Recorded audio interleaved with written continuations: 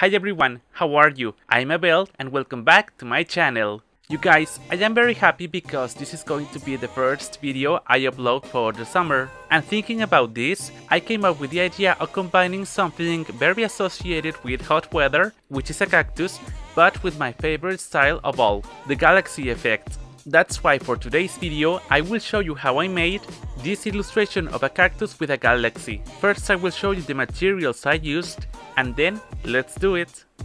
I will use paper, watercolor, a palette, container with water, white acrylic paint, a pencil,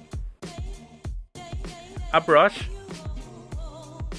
scotch tape, an old toothbrush, and black permanent marker. Remember that the complete list of materials is in the description box. To start with this illustration, I will set the paper using scotch tape.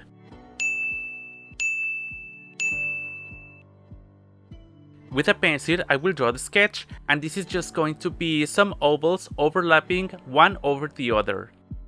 You can use an image as guide to do this, which is actually what I did. And for this step, I can recommend you not to press the pencil so hard.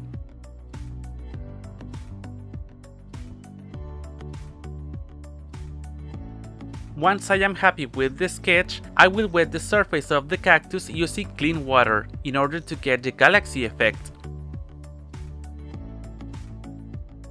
At this point, I will start to apply the watercolor and here I will begin with a light base of blue very diluted in water, and once in a while I will intensify by applying more color.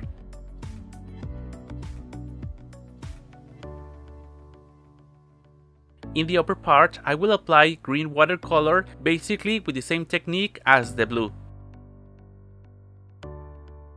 As soon as the blue part I painted at first has dried a little bit, I will put some watercolor to create more intense spots. And once I finish to paint the whole cactus, I will apply a layer of black watercolor over everything I painted with blue and green, leaving some parts lighter and other darker to have the shadows that distinguish this kind of illustrations.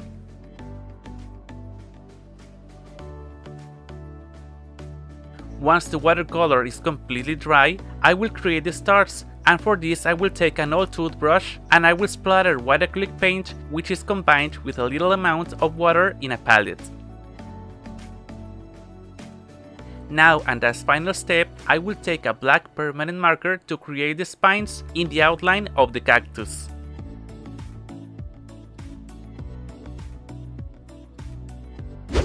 What do you guys think about this illustration? Actually, I had the idea to create this watercolor a while ago, but I don't know why I haven't made it. I really like how this came up, but now that I see it, and it has been a while since I made it, I think it would have been look good if I had applied a color on the background instead of leaving it white. But what I like about this is that I love uh, cactus and all plants in general, and I hope in the future I can make more videos like this. And if you're not subscribed and you would like to be, hit the subscription button or you can do that on the image that's over here and turn on the notification bell so that YouTube will let you know when there's a new video around. Thank you so much for your likes, your comments and for sharing this content and I recommend you to see these videos that you may like. Follow me on my social media that's on the screen and in the description box and I'm off to see you next time. Bye bye!